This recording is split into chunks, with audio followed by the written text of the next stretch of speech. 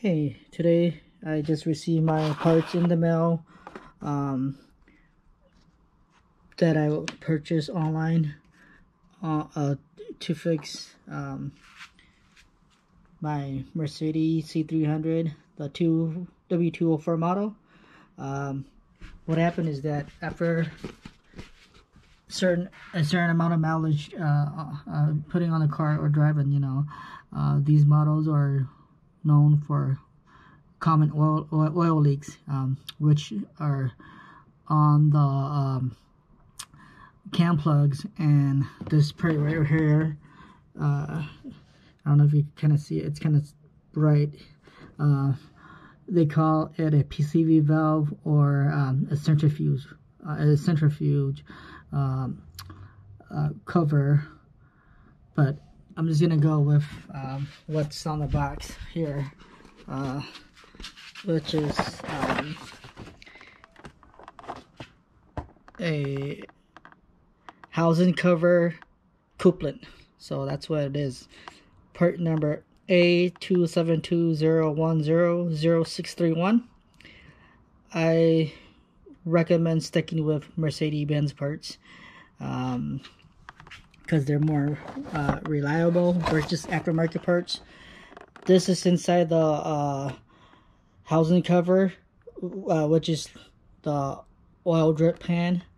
Um, part number is A2730100162. Again, Mercedes parts. These kind of model are known for um, oil leaks on this part and the uh, vacuum pump which is on the driver's side.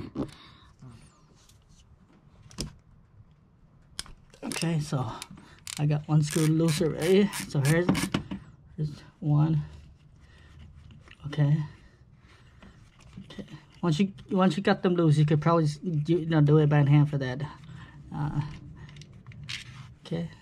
So like I said this is one screw uh, start bit T30 for that, okay? You'll need a T30 for that.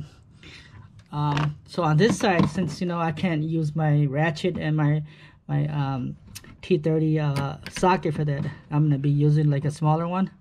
Um, you gotta have the right tools, otherwise you're going to be struggling with that one more bolt. So what I do is I grab a 1 4th ratchet wrench and a little T30 um, tiny bit here. Um, so that I'm able to have room to loosen it up just because uh, my other ratchet and and socket is is long and you know the the space right here is really really really tight. So um so you would you know, have a hard time doing it. So pretty much um try to yeah pretty much try to and then okay that's it yep okay that's all you gotta do. Yeah loosen it up and then you know just um, unscrew it by hand. Yeah. Um, I'm gonna take this out and then I'll unbolt the uh, oil drain the on about the oil um, drip pan and then um, I'll probably clean it with some brake cleaner or or so okay? So okay so so it's okay it's wiggling. It's kind of it's wiggling to make it come loose. Yeah it's coming. Um just double check to see if there's anything okay? So as you can kind of see yes as you can kind of see yeah. See how this is already falling apart already. Uh, this uh, gasket or uh, sealant you know. There's like a bolt inside uh, I believe it's a, a E8 uh, bolt that that it's that, that's inside the drip, oil drip pan that we got to remove. Um, it goes in like this. Okay this uh, surface down here is gonna go in like that and there's like a bolt that's gonna go um, through here connect to the to the to the engine block for that. Yeah, just like that. So I'm gonna. What I did was that I used a extension E8 socket and an adapter and a swivel plus a extension. Okay uh, it's not budging at all. Let's see. I'll try that.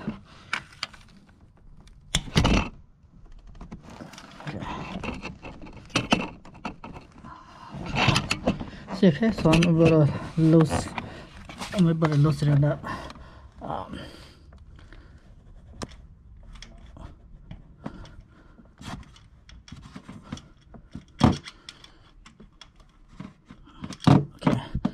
so I'm, able to loosen it up by uh, going clockwise.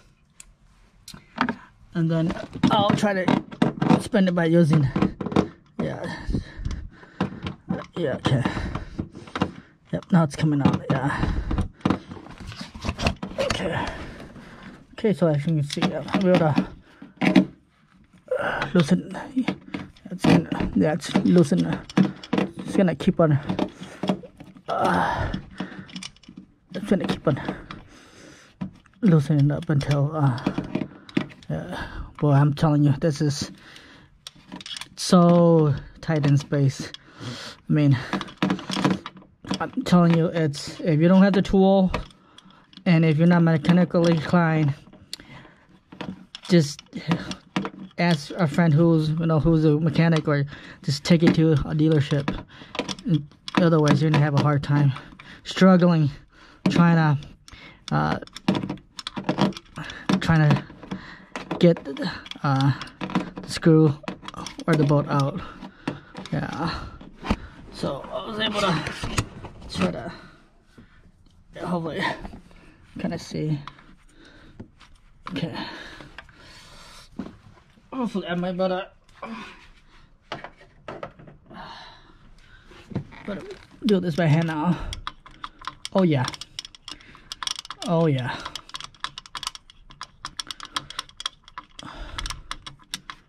Should yeah. I was I was scared that this boat is an E10. Otherwise, the E10 socket won't fit this boat right here. Yeah. For example, like yeah, this little bolt right here. You're gonna need an E8 to go in. So we're gonna compare the old, okay? So we're gonna compare the new and the old part for that, okay? Um, yeah, they're both the same part, both identical, okay? They're both identical, both the same part, and and it's gonna go in like that. But before we do that, I'm gonna, I'm just gonna clean out a little bit.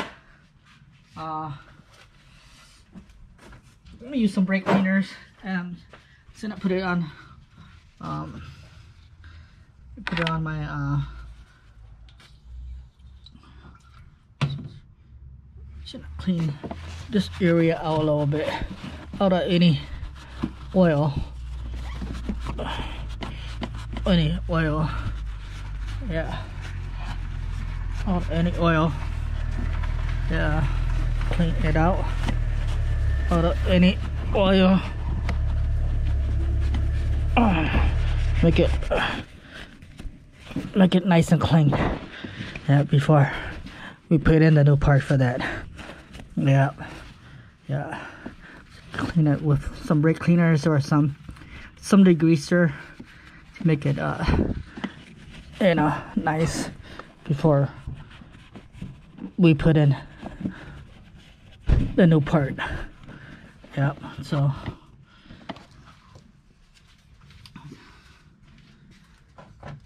So again it's gonna go in like this.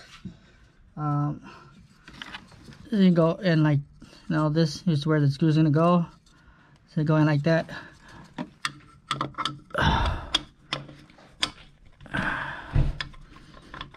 Okay let's see. Let's try to gonna you know snug it in there so it's kind of tight. And then uh we'll uh put in the screw. Let me find my yeah let me find my my bolt here. Okay so we're gonna I'm gonna do this by hand first yeah. Uh, okay and then to screw to fasten it you're gonna have to go counterclockwise for that. Let's see see if I'm able to um, okay. Mm, there we go. I'm gonna use my swivel. Okay I'm using my swivel and I'm gonna and then I'm gonna go um I'm gonna fasten it.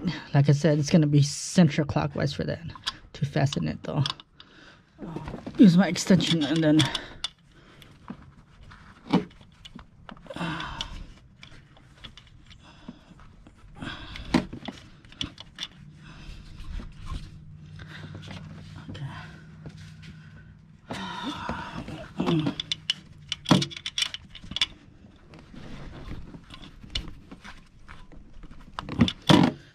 So seems like it's tight. Okay. Okay, I'm gonna take this out.